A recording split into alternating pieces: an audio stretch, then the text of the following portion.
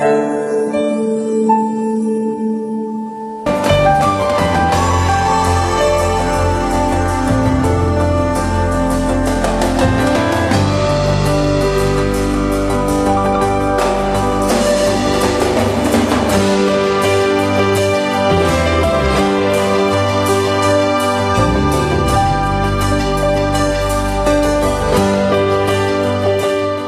观众朋友们，大家好，欢迎来到天元围棋频道，我是吴新宇。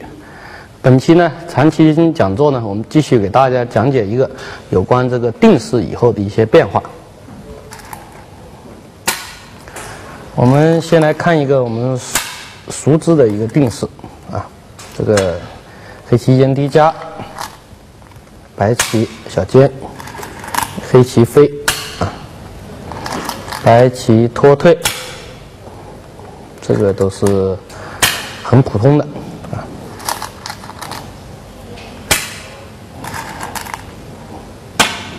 然后呢，白棋飞，黑棋跳啊，这个呢可以说是一个呃非常常见啊，或者是非常在这个实战中出现概率非常高的一个这个呃变化。嗯，样这个子呢，也有可能在啊是。大飞的位置啊，也有可能呢说是啊，甚至于说是在这里，普通呢是在这里，这个是多一点啊。嗯，就进程而言呢，呃，这个子的变化呢是根据这个次序啊。当然说你加的时候，白棋也有先拖退啊，等黑棋虎的时候，白棋在尖啊，黑棋在考虑飞这个或者飞这个飞这个等等啊，这个这个下法。那么呢，这个呢是一个普通长形。也普通长形，那么这个以后，接下来白棋该如何下啊？是我们需要这个呃研究的。虽然呢，它是一个这个牵扯到一个定式的问题啊，但是呢，就这个棋形而言啊，我们为什么啊今天拿出来讲这个呢？是很有必要的。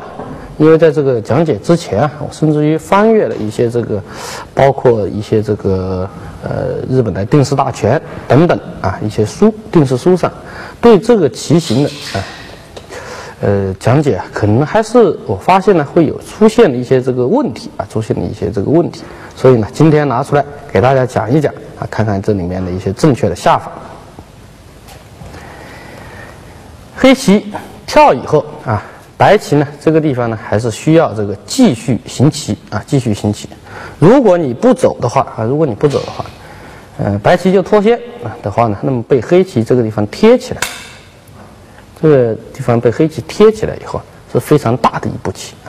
这个黑棋在这边不但呢，呃，得到了加强啊，而且同时这一贴以后，白棋整个这块棋就会变得呢，比较这个苦，比较苦。所以呢。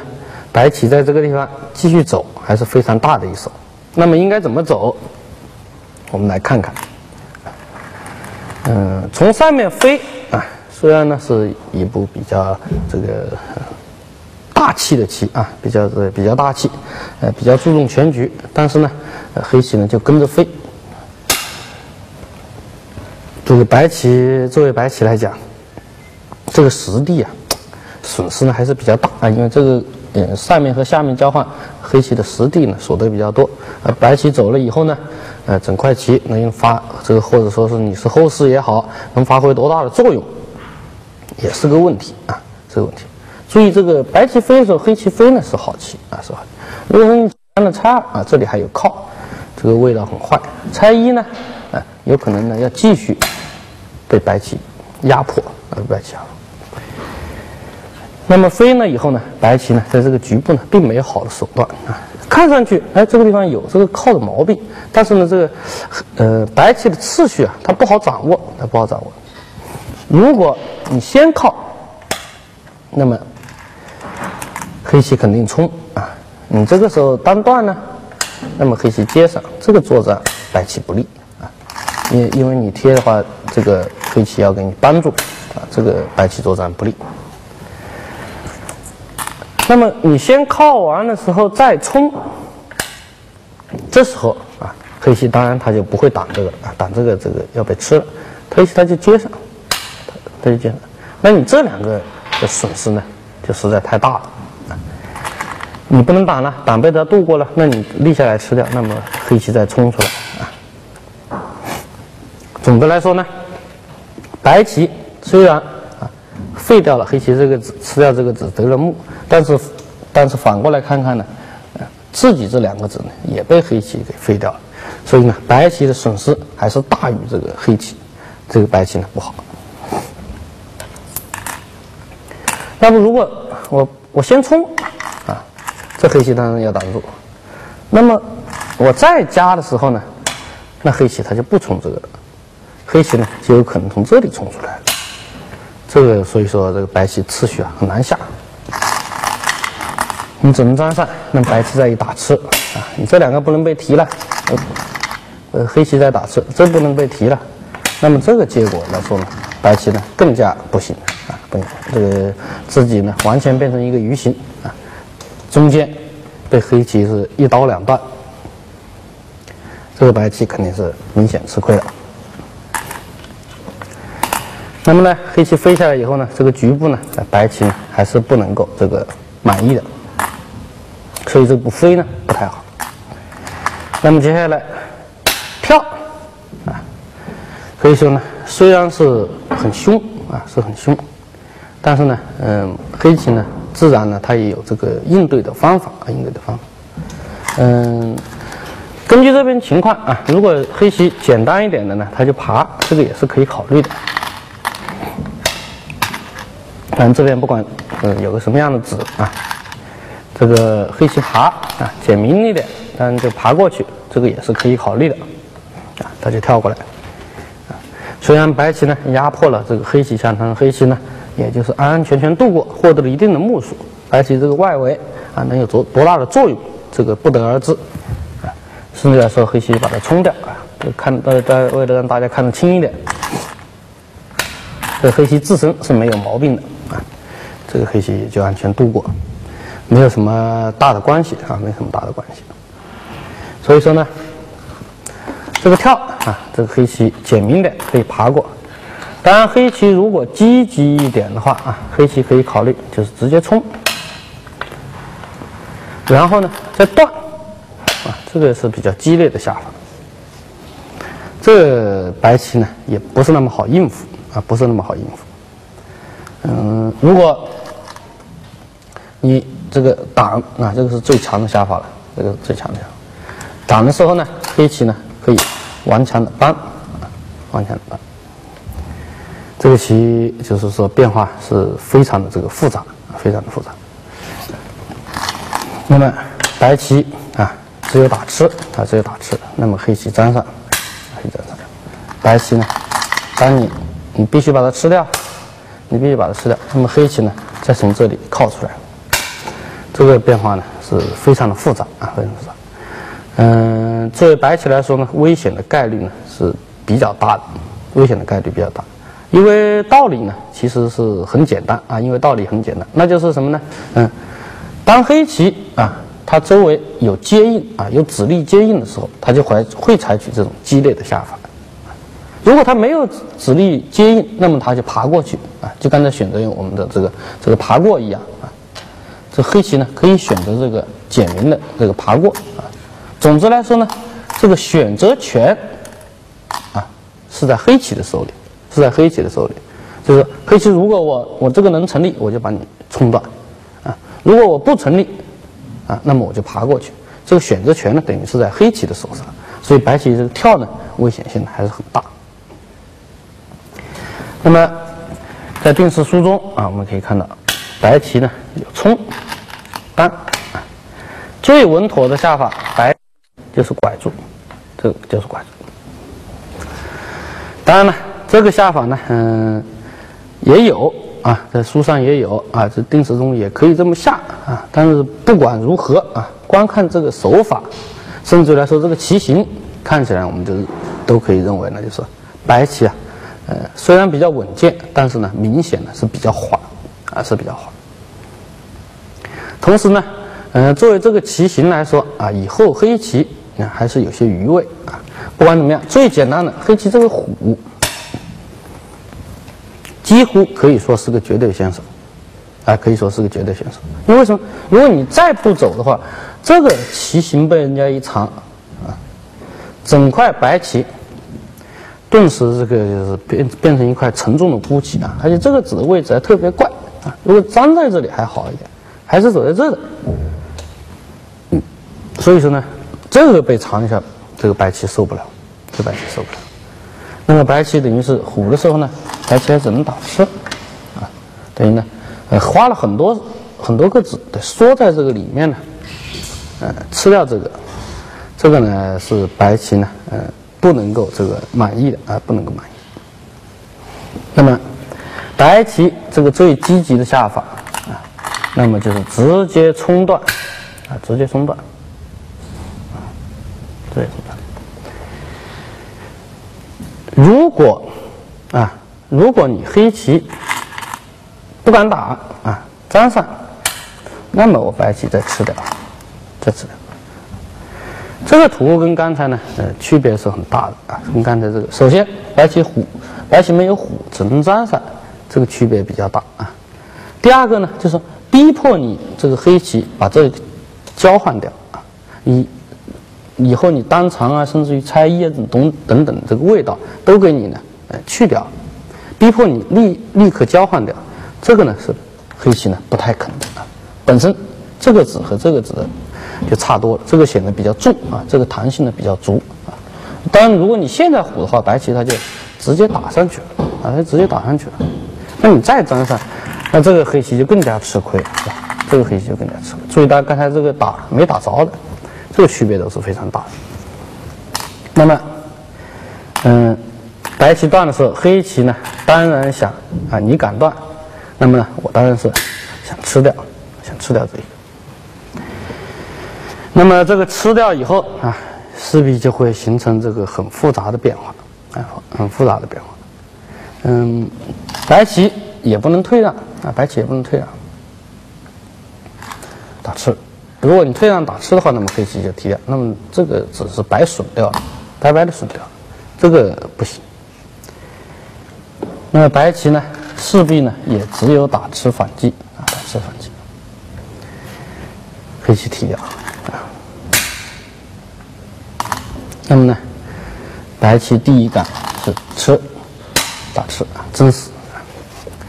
嗯，在很多的这个定式书里面啊，这个我们就提到我们刚才所说的话题啊，这个呃定式大全里面等等啊，就关于这个定式的复杂变化啊，不管怎么样，他们前提呢都说了一个，就白棋需要争执有力啊，因为争执不利一争就跑掉了，一争就跑掉了啊。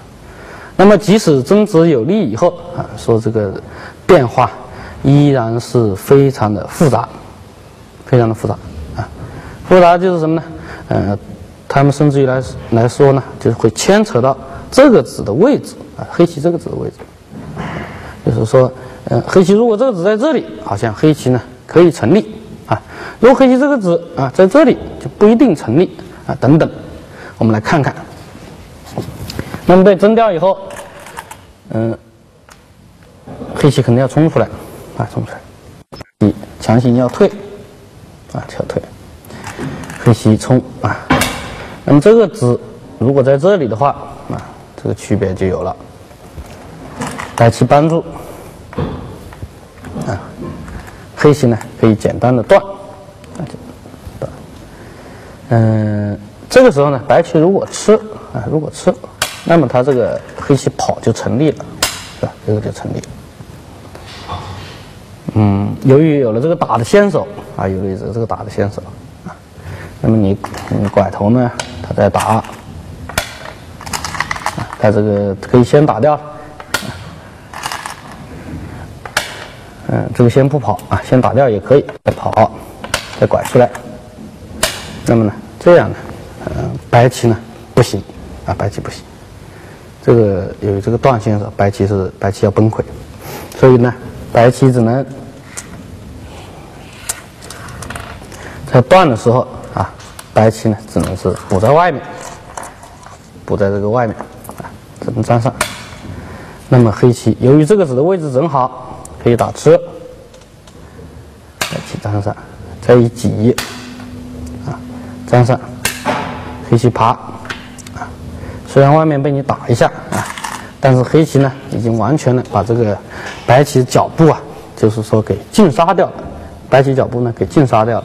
嗯，虽然白棋得了一些外势，但是相比之下呢，还是这个嗯黑棋的目数太大。他们认为呢，就是如果当时黑棋在只在这里的时候，白棋这个断啊，即使争执有利还是不行。但如果在这里呢？那那么如果在这里的话呢，这个棋啊，这变化就更复杂了，就更复杂啊。如果你还是直接断这个啊，黑棋补，白棋补，那这个地方就不能像刚才那样啊，一下子吃进这个白棋了啊，这样子。因为你现在在爬这个上面有个双打啊，这个很麻烦。这个结果很麻烦，我们再看一下，爬，白棋就要吃，提，嗯，这个粘上，这个粘上，那么呢，呃，白棋再从里面开始收气啊。由于提了这个子以后，这个黑棋啊已经无法就收紧白棋，收紧白棋，这个里面嗯形成这个嗯。白棋有利的这个对杀，白棋有利对杀，但是呢，在这个前提是白棋在外面呢，已经所得了不少啊，所得了不少，所以说呢，这个黑棋呢不太好啊，不太好。但即使黑棋不太好呢，也有人在给黑棋想想办法。我先断这个啊，他先断这个，哎，这下这个次序，他先断这个啊，这个黑棋次序还很妙，那你得打吃是不是？那么呢？我呢，再打吃这个，这个次序都很妙。你现在还是不能立啊，那么我再提，那么我再打吃这个，提掉打吃啊，这个白棋没法打劫的，没有劫财。把这些都走完了以后呢，把你吃进去啊，把你这个都吃进去，然后呢，我再依靠啊这一把吃啊，你看这一把形成呢。啊，一个比较复杂的结阵，一个比较复杂的结阵啊，因为你粘上的话，它以后有藏这个藏气的手段啊。你打吃呢，它就提，这个就是说形成一个非常复杂的结阵啊。然后呢，白棋也有劫啊，这个提来提去就很复杂了。这个这个东西就黑棋呢也可以靠本身打劫，但是不管呢这个结果怎么样啊，不管这个结果怎么样，就是白棋毕竟啊不是黑。白棋毕竟在外面已经所得了不少，然后再在这个内部呢，跟黑棋进行这个呃对杀。作为白的一方来讲呢，它的负担呢，相对呢就要轻得多，就要轻得多。嗯，所以啊，呃，查阅了这些定式书等等啊，就是说，嗯，当时啊，给这个呃大家的一个结论啊，一个一个结论就是什么呢？我们来看看。一个结论就是，当白棋争执有利，啊，白棋争执有利，当白棋争执有利啊，这里争执有利的时候，同时黑棋这个子在这个位置的时候，啊，白棋冲断是成立的啊，是成立的。那么如果黑棋在这里的时候，白棋冲断啊，争执不利是不成立的。啊，当时是一些这个结论，这个定书上。但是呢，呃，实际上经过这个时代的进步啊，或者是研究啊，现在发现呢，嗯，这个定书上这个不太正确，不太正确。呃，而且一直很奇怪啊，很奇怪一点就是，呃，当时的高手可能是为什么不忽略了其中一步啊，很简单的招法，很简单的招法。那么是什么呢？毛病出在哪呢？就不管怎么样，现在认为白棋断都是成立的，跟争子也没关系，跟这个也没关系。那就是你黑棋打吃的时候，白棋打提，放着眼眼见的争子，我不争就完了，退，这是一步很简，其实呢。看起来也是一步很简单的棋，但不知道为什么这个，呃，在这个特别是日本这个定式打拳里面，这个没没没有这个提提到这步棋啊，没有涉及到这步棋，这个非常的这个令人感到奇。啊，这也是啊，今天我把这个棋形呢拿出来给大家讲一讲啊的这个主要原因啊。其实这个棋黑棋根本就不能打吃，打吃完白棋就单退一个，这个棋黑棋就很难办啊，黑棋就很难办。你当你再冲的时候，我就没根本就不会去退这个了啊，退这个反而出现一大堆断点，我就直接给挡住了啊。这个棋黑棋就很难办。你这里拿我呢，可以说是根本呢就没有什么办法啊，拿我根本，你如果断打啊，我们进行断断打，我就硬。啊，这外面拿白棋没有任何办法，你这个周边子力甚至还多一点，再给你都帮不上忙。你跑，这个跟争执也没有任何关系，我就吃。你拐打，我就硬，我就我就都跟着硬。你这个你你走什么东西我都跟着硬，反正就是你在外面可以说呢是没有任何手段，没有任何手段。而在里面，啊，你黑棋要做活还行，还能并着活，虽然能并着活，但是呢，白棋根据需要啊，在外面补一手也行，啊，根据需要呢，我一可以呢主动啊，让你在里面，呃，苦活。第二个呢，如果觉得这两个子现现在比较重要，棋筋，我随时还可以恰吃，啊，恰吃你两个子棋筋，舍弃这两个子，也就是说，把这两个子棋筋给提通。虽然你能吃掉我这两个，但我把这个奇筋给提通啊！你外面这些子呢，都都没有什么办法，没没有什么好的招法。可以，也就是说呢，嗯，白棋这个一长以后，黑棋呢就会变得非常的难办啊，非常难办。那么，黑棋啊，如果跳这个，嗯，白棋就吃啊，白棋就吃。嗯，黑棋跑，白棋就粘上，这个依然没有用。你拐的时候，它就一断。这个还是黑棋啊，明显吃亏啊，黑棋明显吃亏。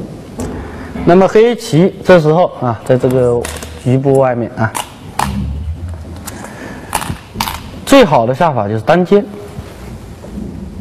这时候最好的下法是单尖。那么白棋呢？嗯，如果去熟吃，这个不好啊，这个是吃不好。你吃的时候呢，黑棋不会粘这个，它会滚打。这个白棋大家一看也就知道，这个自身形状有点差啊，有有点差。这个形状呢，白棋有点差，不好。那么当黑棋尖的时候呢，呃，白棋去急打这个，一看也是个熟手啊，它就这样子。啊，等你再搬的时候，啊，黑棋很明显，它就不必要去断打这个这一下，它就可以单长。这个外面呢，压力呢会比较大，啊，会比较大。黑棋呢再做活啊，再做活。嗯，这个时候这两个子啊就不一定是棋筋了啊，毕竟我这个子活着，把你这个断开了就好一些啊，就不会黑棋不会就有呢这两个子的交换，这么损的交换。那么呢？白棋最好的下法呢，就老老实实粘上，啊，就老老实实粘上。嗯，黑棋现在不能活，你要是活的话呢，那么白棋我就靠起来，这个外面白棋作战不怕，对吧？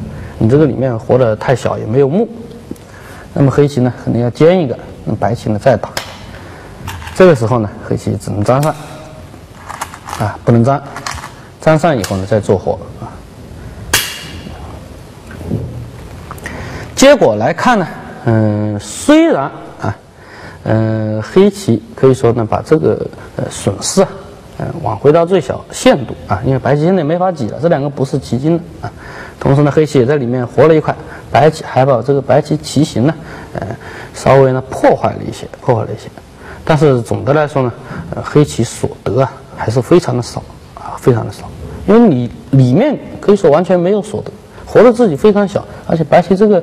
这地方力啊，还有先手，还有先手啊，嗯，这个以后一打，你这个地方还在往在往里面缩啊，往里面缩着做野，这个呢活的是它是非常的小，不能让人这个满意啊。作为白棋来讲呢，外面这整个整块棋，都连通了啊，都连通了。嗯，外面的这个也根本不用担心自己的死活啊，这底下都有眼位啊，而且呢，黑棋啊，关键是呢还落了一个后手，还落了一个后手，可以说呢，这个变化呢，黑棋啊，就是说呢是不成立的啊，不成立的。嗯，应该说是这个定式啊，对于这个定式的误区啊，是非常的这个奇怪啊，因为甚至于包括。在我学棋的时候啊，当时都是，呃，可能是由于这个根据这个传统观念哈，但因为这个高手日本或者都学日本棋，日本的高手这么说的，定式大全上也是这么写的啊，这么呃白棋冲断不行啊，因为你争了以后黑棋冲出来怎么样啊？